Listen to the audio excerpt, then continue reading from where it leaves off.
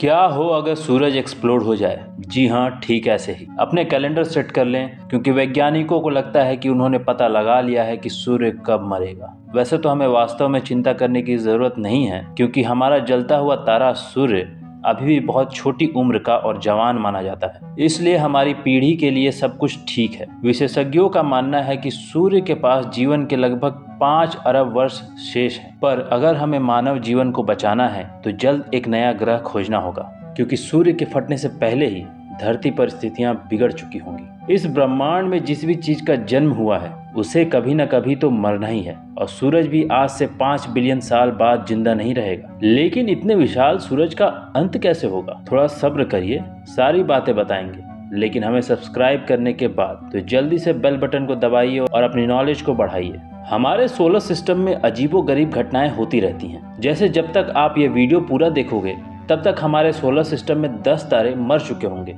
इसे supernova explosion कहते हैं। वैसे तो अंतरिक्ष में हर सेकेंड एक नया सुपरनोवा एक्सप्लोजन होते ही रहता है। लेकिन क्या सन भी सुपरनोवा एक्सप्लोजन से फट जाएगा? जब हमारा सन अपने अंतिम चरण में होगा तो इसका सारा हाइड्रोजन खत्म होकर हीलियम में बदल चुका होगा। रेडिएशन प्रेशर के घटते ही ग्रेविटी इतनी बढ़ जाएगी कि अंदर मौजूद सूर्य का कोर सिकुड़ना शुरू कर देगा। टेम्परेचर के और बढ़ने के बाद अब हीलियम भी कार्बन में बदलने लगेगा। कार्बन बनने के बाद इसके खत्म होने की प्रक्रिया भी बड़ी तेज़ी से होने लगेगी। कार्बन के फ्यूजन के बाद ऑक्सीजन नियॉन और मैग्नीशियम जैसे तत्व बनने में मात्र कुछ सालों का ही समय लगेगा, जिससे हमारा सूर्य का कोर और ज़्यादा गर्म होकर सिकुड़ने लगेगा। नियॉन के फ्यूजन में मात्र कुछ ही सालों का समय लगेगा। ऑक्सीजन भी मात्र कुछ महीनों में खत्म होने लगेगी और उसके बाद आने वाली सिलिकॉन फ्यूजन मात्र कुछ दिनों तक ही चलेगी। सिलिकॉन फ्यूजन के दौरान हमारे सूर्य का कोर बुरी तरह से सिकुड़ चुका होगा और टेम्परेचर भी लगभग तीन अरब डिग्री सेल्सियस तक पहुँच जाएगा। सिलिकॉन फ्यूजन के चलते अब हमारे सूर्य में प्रेशर कम हो जाएगा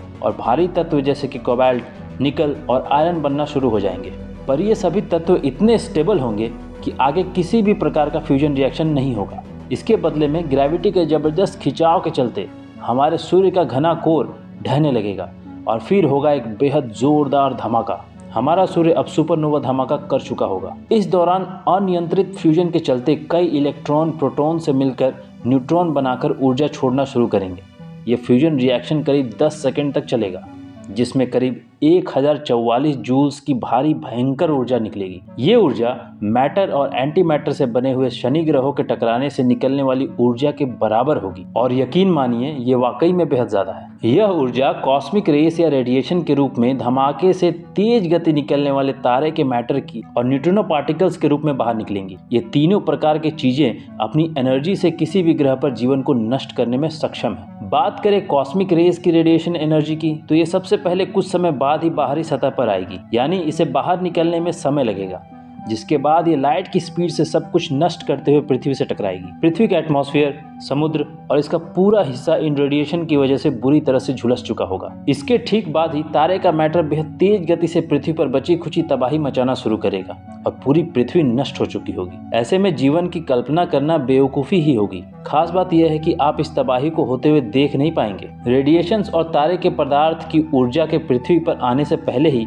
यहाँ जीवन खत्म हो चुका होगा, क्योंकि सुपरनोवा धमाके से निकलने वाले न्यूट्रिनो पार्टिकल्स रेडिएशन से पहले ही पृथ्वी पर अपना काम कर चुके होंगे। रेडिएशन को पृथ्वी पर आने में कुछ समय तो लगेगा, पर ये न्यूट्रिनो पार्टिकल सबसे पहले सुपरनोवा धमाके से निकलकर पृथ्वी पर विनाश करना शुरू कर देंगे।